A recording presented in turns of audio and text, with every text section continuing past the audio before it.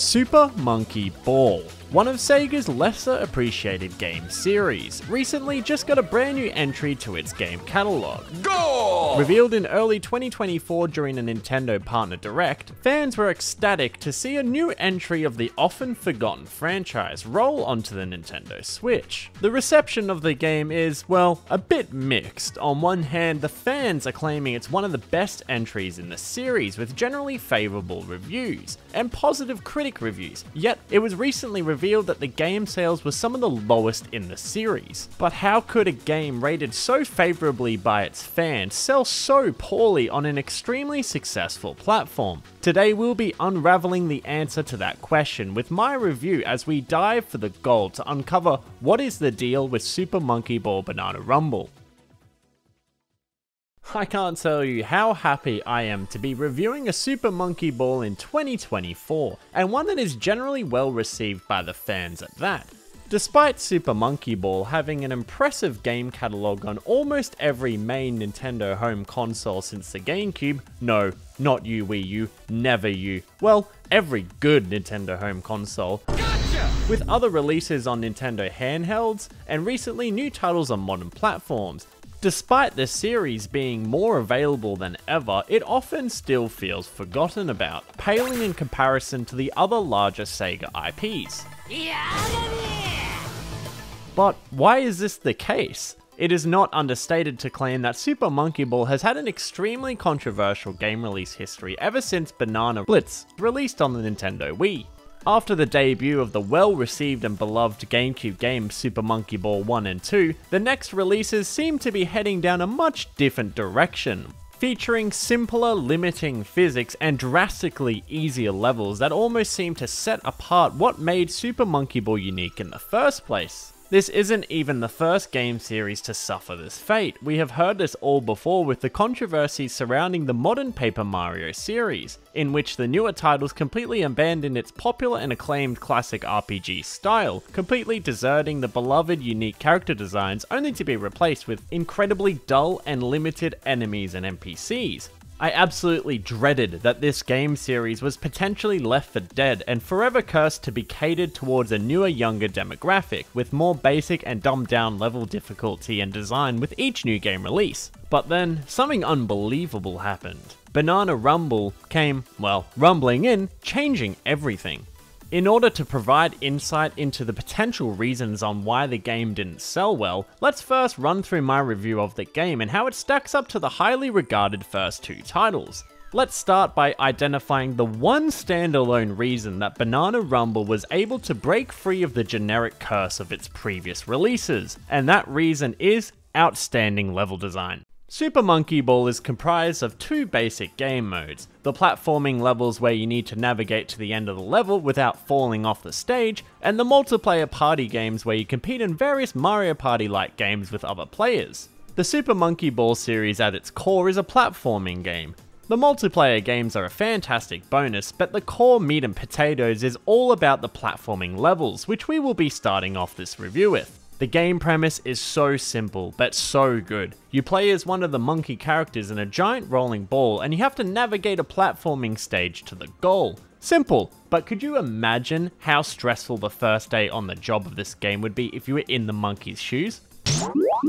Ah, you must be the new monkey on the block. Well, before you get started, do you have any questions? Yeah, I've got a couple questions like how do I get out of this ball? I understand that you put the lid on to get in, but how do I actually escape?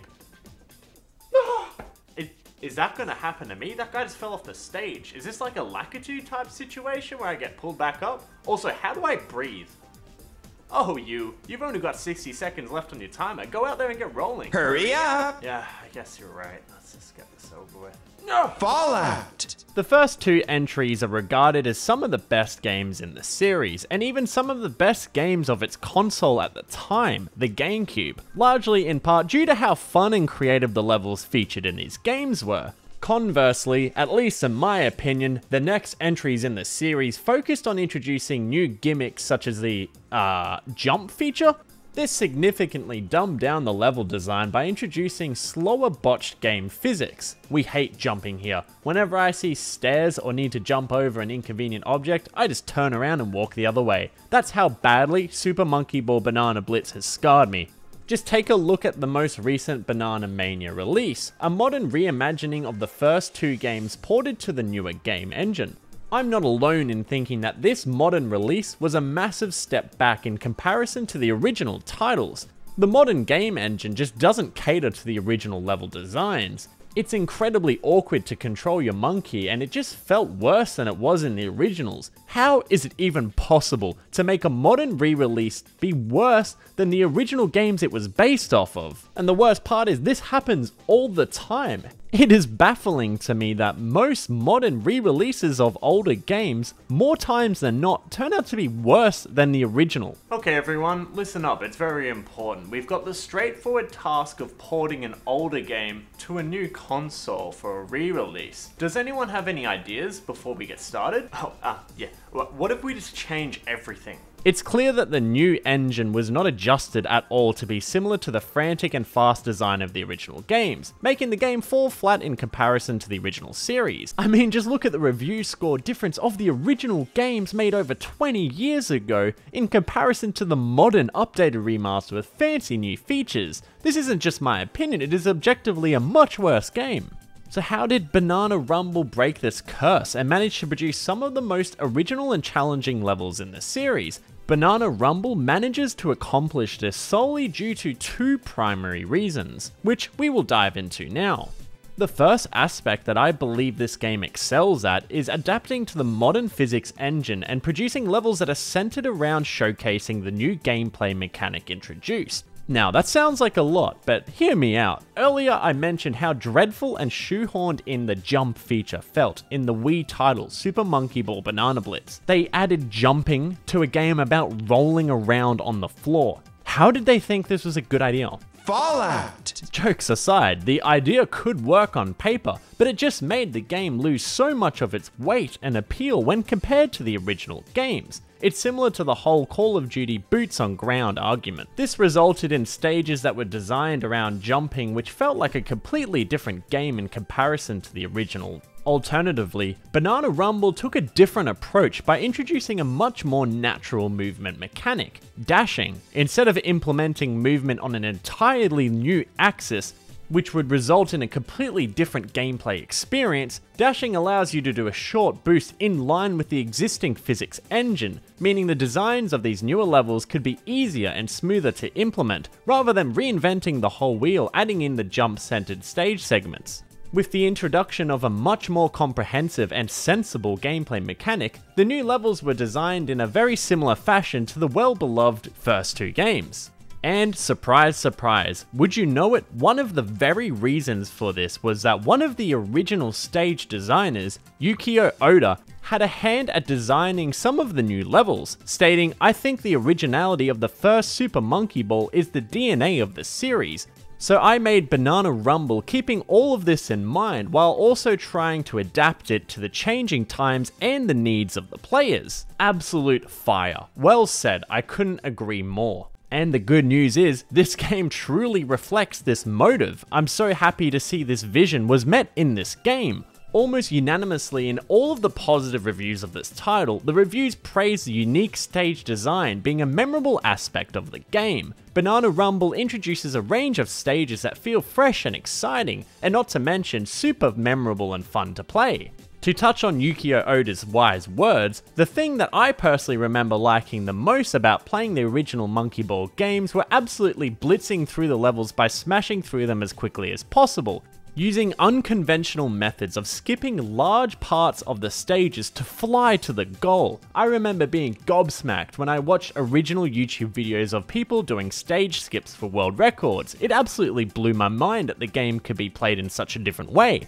Banana Rumble keeps this design philosophy in mind by introducing a whole range of engaging levels that benefit greatly from the dash feature, allowing you to zip through the levels in your very own methods just like in the original titles.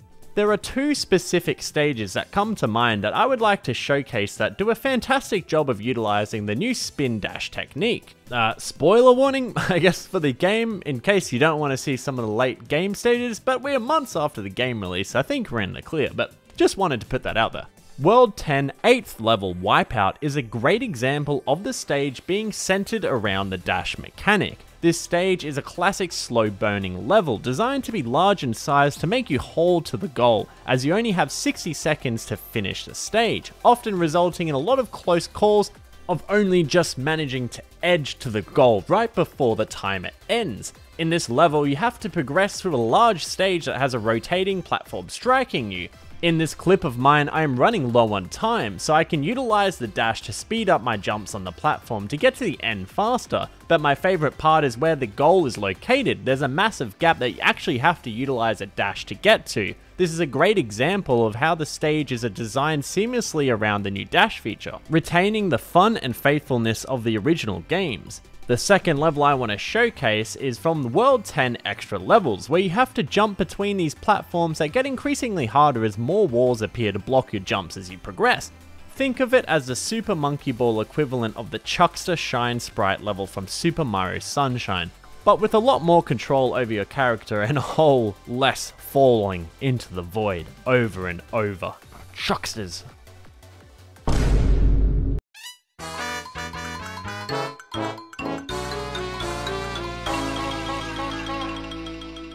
You have the option to dash into each jump ramp boost in each segment, with you actually starting the level beneath the goal initially and rotating back to the first platform last in order to get enough height to cannonball into the goal. When I first cleared the level, I misaligned my jump and landed early but was able to bounce into the goal luckily, which felt amazing. It just took me back to the original games and how there were so many alternative routes to beat every single level, there was no one set way. As a bit of a bonus, the last level I want to showcase is from the extra levels from World 2. In this level, there are a bunch of plates that you have to navigate down to find the final plate frantically spinning with the goal in the middle. However, using the dash, you can quickly bypass a lot of the stage and enter a nosedive straight to the end of the goal, and it just reminded me so much of the fun and originality of the original games. It's great to see the main single player mode of this game be the biggest highlight of the title. So let's move on to the next aspect of the game that really shines.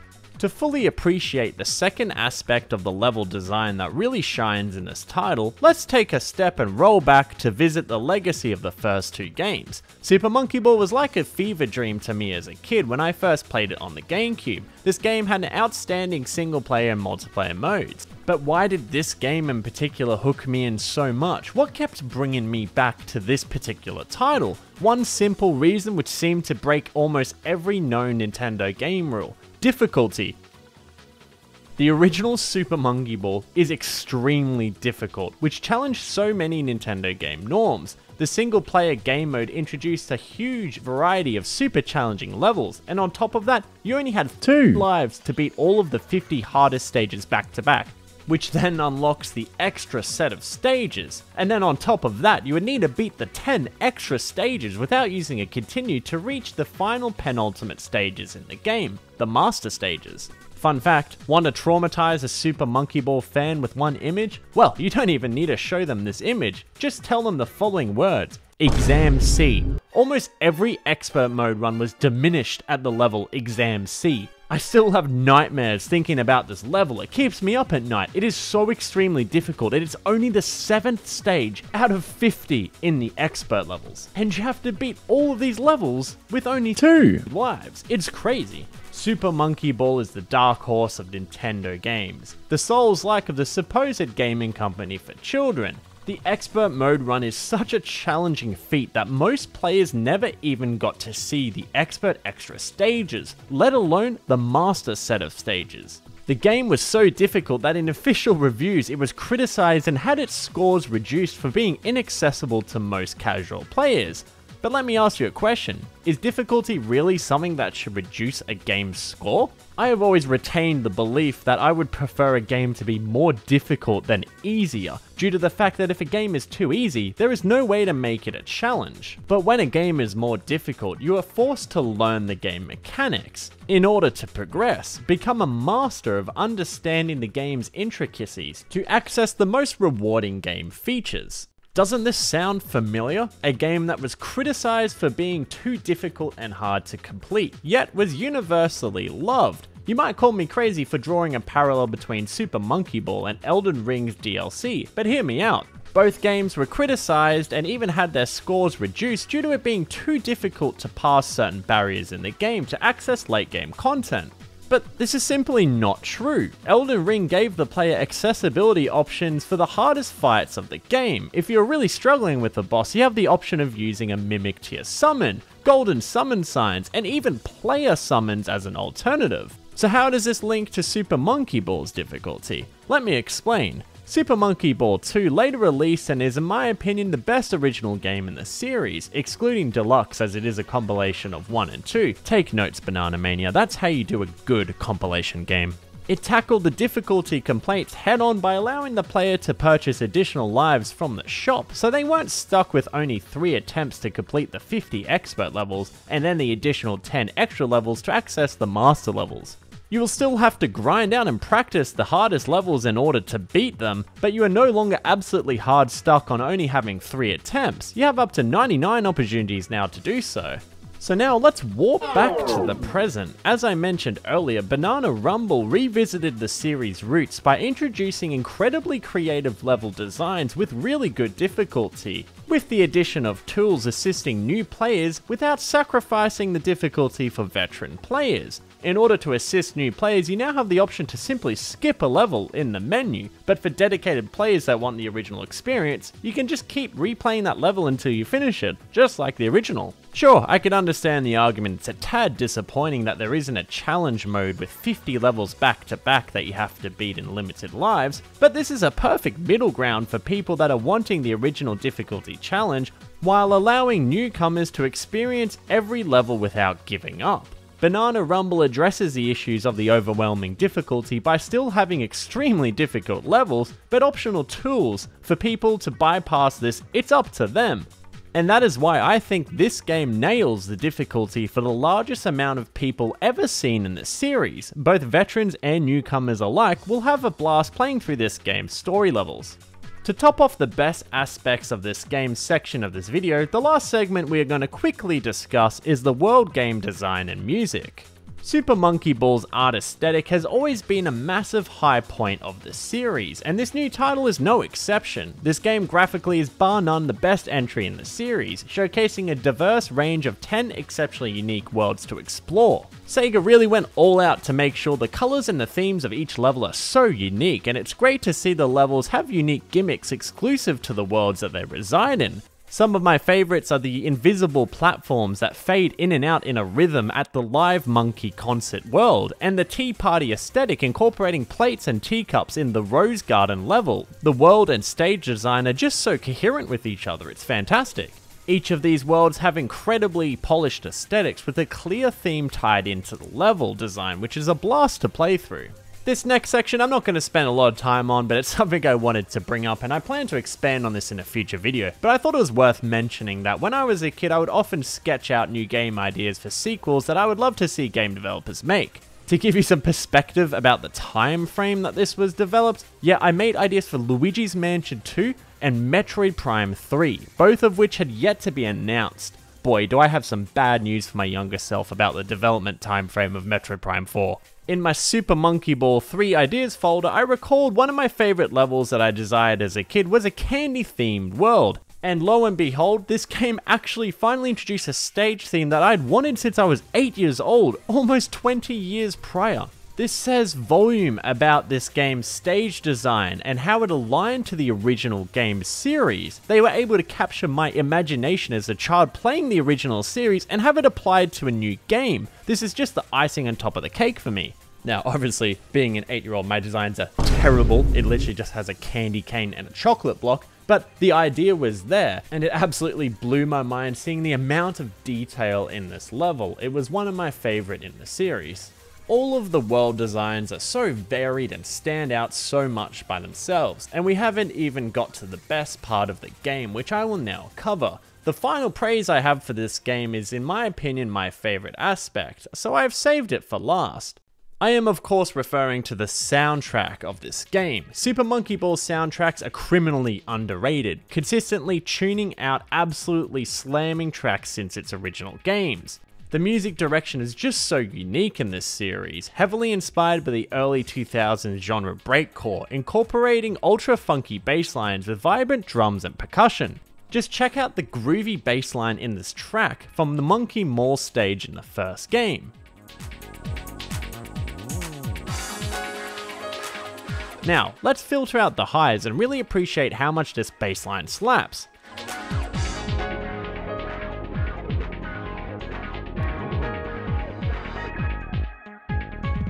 Now let's listen to one of the newer tracks from the series, Oceanus.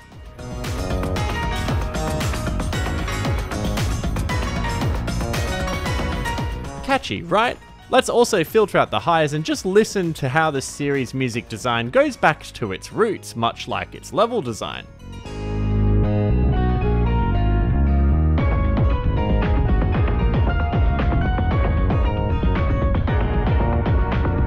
Every single world theme is so incredibly impressive, then the music just elevates it to a whole new level with super memorable music motifs and hooks. The soundtrack does not disappoint and it's super exciting to see it evolve to this point it's at.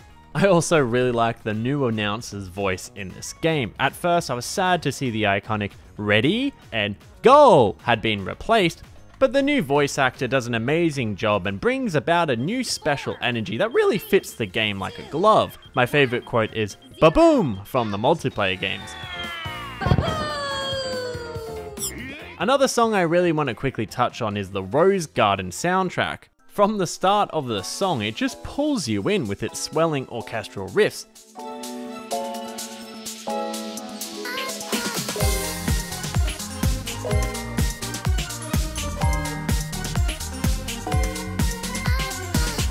And oh my god, the track using monkey sounds as ad-libs is just an amazing detail. It fits it so well. This song also just screams inspired by Persona 5, especially the introduction. Speaking of Persona 5 inspiration, this is a great segue to move away from the game's many positives and into what isn't so great about the game. At this point we have covered all of the positive aspects of the game in my opinion, so let's highlight the not so great aspects. The easiest pick of the bunch here is the game's story. It's virtually non-existent and extremely generic, but this is a platforming game. The series isn't exactly known for having an intricate lore library, and the story is just fine but very forgettable. I don't want to focus on this aspect as there are much larger issues at play that I want to discuss, so I won't really be critiquing this aspect too much or accounting it into the final score, but I just knew I had to mention that it's funny how much this story seems to be inspired by Persona 5. I mean, just look at this villain's design, and they are a phantom thief, stealing sacred treasure,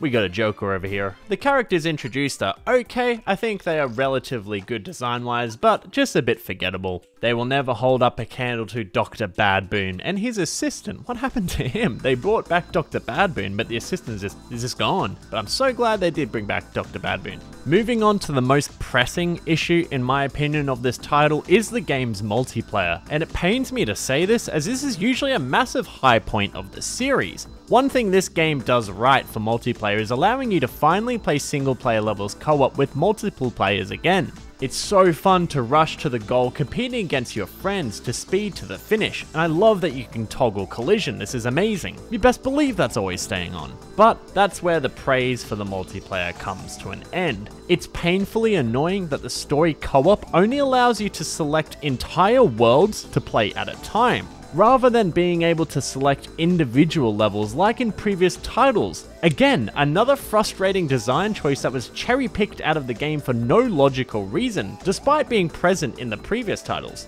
This might not seem like a massive issue, but if you wanted to play the 10th level of World 2 and then move on to let's say the 6th level of World 8, you would have to play every single level of World 2 in the exact same order every time, and then return and select World 8 to slog it out to get to that second level you want to play. It's just a frustrating step back that provides no benefit that you have to play entire worlds in the exact same order every time, making the experience so much more mundane and less dynamic. But this is just a nitpick in comparison to the game's main multiplayer mode. In previous entries, there would be a massive variety of party games to play with your friends. This title introduces 5 main modes for multiplayer with the brand new exciting feature of having up to 16 players compete at any time. Now, let me be clear, I'm all for having a smaller selection of games that are more polished. I think this is actually a really good idea. The thing that falls flat is that the performance of this is abysmal on the Switch. There are constant frame drops and extreme lag for one single player duking it out in online mode. The story mode is rock solid 60 frames per second, so it's extremely disappointing to see the multiplayer pale so awfully in comparison in the exact same game. But performance issues aside, these can be later resolved in a port. The biggest issue with multiplayer is that there is only one single player on one console that can compete in multiplayer games. This is doing the Switch, a home console, such an injustice by missing a massive opportunity that you can't play the multiplayer mode with more than one person online, but you can play single player co-op. How does this even make any sense? Again, maybe this can be overlooked when it gets ported to new consoles and you won't be relying on having one system for two players, but overall, the quality of the new games are just a bit hit and miss in my opinion. There are definitely some modes I enjoy significantly more than others. Monkey Race is fantastic and one of the most solid entries. I love that the stages are based off of the single player worlds. This mode is essentially unchanged from previous games. It's similar to Mario Kart, you just have to race to the end, but in this title it's one big lap instead of multiple laps, which I actually really enjoy, and the items are always a blast. This is a really good mode. Oh no! One of my favorite moments of this game was when I uncovered that the Banana Farm stage is actually a race stage comprised of multiple stages from previous Super Monkey Ball games, especially Super Monkey Ball 2. This is a fantastic high point for the multiplayer, and it's super fun zipping through stages that previously would have been so challenging to get through. It's genius, this is one of my favorite game modes they've ever made. My next favorite game is Goal Rush. In this game mode, there are a bunch of goals situated on downward slope map that your team has to run through to claim. This mode does a great job utilizing the dash mechanic to make your monkey reach supersonic levels of speed as you zip to the ultra rare goals that appear before anyone else in the opposite team. This mode is really fun. In general, I think any of the multiplayer modes that incorporate the platforming aspect of the single player is a really good addition and super fun with 16 players. So great job Sega, I really want to see more of this. Coming up next is Baboom, which is a classic hot potato mode, and I don't really have a lot of complaints for this one. It's a solid game mode again, utilizing the dash mechanic well to bump into foes and slip away from them tagging you. But oh boy, here's where it gets not so great. The last two are very underwhelming in my opinion. Robot Rush just has way too much going on at any point. I like the idea of using the stage to zip up and hit the heads of the robot, but it just isn't as fun as the other modes. I think it would have been a better idea to have everyone on the same team taking down a giant boss. I think that just would have worked better. Banana Hunt is just boring. Sorry to all the banana hunt lovers out there, but I'm just never really a fan of these collect all the coins modes. It really just doesn't offer anything new. With 3 out of 5 of the new game modes being really good, the multiplayer is solid, but the next worst issue is that you can't even select what mode you want to play when you queue online. So more often than not, you'll be queued up to play Banana Hunt, then back to Robot Rush, and then guess what? Back to Banana Hunt, with no selection of voting at all. It's infuriating! This game could have really benefited from a Mario Kart-like voting system, where players just take turns at voting what they want to play. It's disappointing to see absolute classics such as Monkey Target and Bowling not return that are fan favorites, but I can appreciate the new direction they're taking the multiplayer games, and overall, I think they're okay, they just have a lot of fine tuning to do. But the worst part ties all into the main theme of this video. Almost every online lobby is just full of bot players due to the game having an abysmal player base. It's really sad. The potential of versing 16 people in real time is so amazing, but it's super disappointing only getting queued up against one or two real players that pose an actual challenge, with the rest just being bots that fart around to always be so far behind on the points in the competition. It's a huge letdown as the 16 player multiplayer is a fantastic selling point and feature of the game, but you only ever get to verse one or two real players at any time. You can't play with another friend on the same system and the performance is abysmal to top it all off. So that about sums up my thoughts on the multiplayer in a nutshell, and well, it is really something. So I've covered the best aspects and the worst aspects of the game. What do I think about the game overall? In my opinion, this game is a solid 8 out of 10. It single-handedly offers the best single-player experience to date since the first two debut games, adding in a whole host of unique and incredibly fun single-player levels to play through.